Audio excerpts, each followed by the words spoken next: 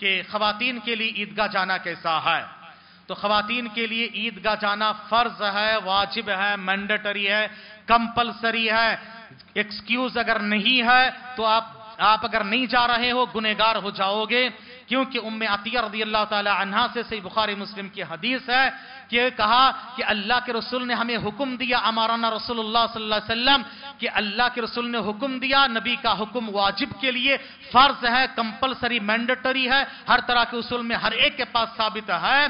कहा कि हाइजा और यहाँ तक के नापाक औरतों को भी लेकर जाओ और कहा कि पर्दे वाली औरतों को लेकर जाओ सबको ईदगाह लेकर जाओ। कहा कि देखो भाई, अगर ये नापाक है, तब भी लेके जाना हाँ तब भी लेके जाना। कहा कि चादर नहीं है तो क्या करें? अपनी सहेली की चादर हिस्सा करके एक चादर में दो ओढ़ के जाएँ फिर भी जाना है। देखो, इतना एक्सक्यूज है, फिर भी कहा कि नहीं। एक्सक्यूज नहीं है। तुम्हें ईदगाह जाना पड़ेगा। क्यों जाए? कहा कि मुसलमानों की दुआ में।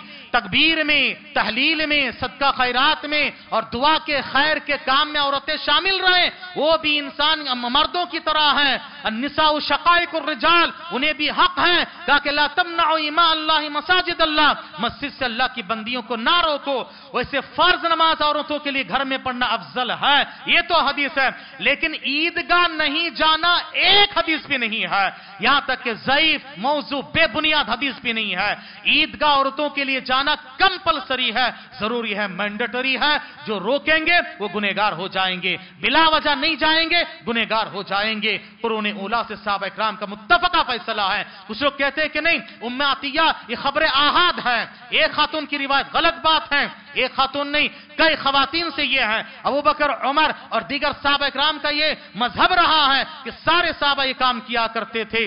मुसद अहमद और बैकी के हवाले से रिवायत है। अब्दुल्ला बिन रवाहा की बहन कह रही है, और देखो यह और एक खातून की रिवायत है कि वाजबल खरूज अला निताक। हर निताक यानी ओढ़ने वाली, यानी बालिगा औरतों को लिए वाजिब करार दिया और ईदगाह जाने को वाजिब करार दिया गया। अल्लाह अकबर। कितना ताकीदी हुक्म है। लेकिन मुसलमानों, औरतें कहाँ कहाँ जाती है? इबादत इबादत के लिए तुम्हें फितना होता है। मॉल में, शॉपिंग के लिए। और मुख्तलिफ़ तरह के कारोबार के लिए और ड्यूटी के लिए कहाँ कहाँ पर जा रहे, बाजारों में, गलियों में, कोचों में, पार्कों में, मॉलों में, सब जगह पर जा रहे हैं, वहाँ फितना नहीं है। मस्जिद में और ईदगाह में जाके फितने की बात अब तुमको नज़र आती है। याद रखो, अल्लाह के पास जवाब देना पड़ेगा। जब हम बोलते आपको यकीन नहीं आता है, जब हुकूमत की लाठी पड़ती है, तब आप जो है करते हो। अब जब फैसला हुआ कि भाई हाँ खातन को मस्जिद में आने देना है, वो भी है। क्योंकि दलील नहीं तुम्हारे पास, सिर्फ़ हट धर्मी है। आप बताओ कि एक रिवायत एक रिवायत लेकर आओ कि खातन ईदगाह नहीं जाना बिल्कुल नहीं है। तो हमें चाहिए कि बातिल पे हर धर्मी करने के बजाय खातन को लेकर जाए और अल्लाह के पास जवाब देना पड़ेगा। आज बड़े बड़े पोस्ट आ रहे हैं ना?